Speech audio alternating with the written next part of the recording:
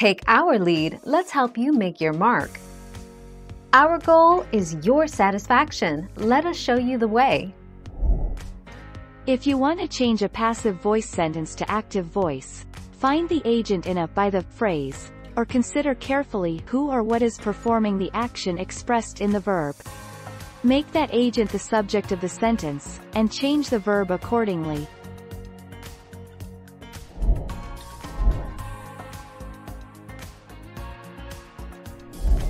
Make your mark, take our lead.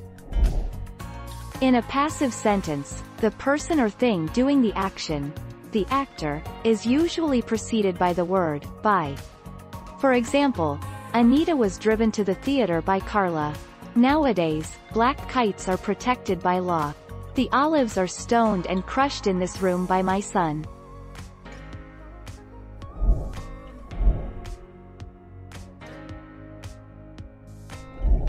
Make your mark, take our lead.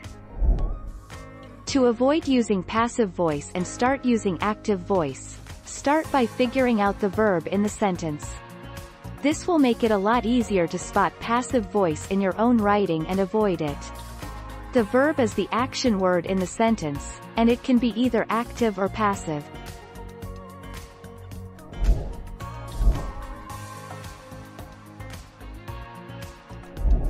Let's help you make your mark.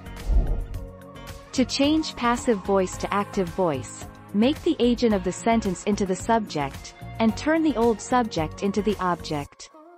For example, this is a passive sentence. The article is being read by most of my class. The agent is most of my class, and the subject is the article. Thank you for watching. Please subscribe and hit the bell notification.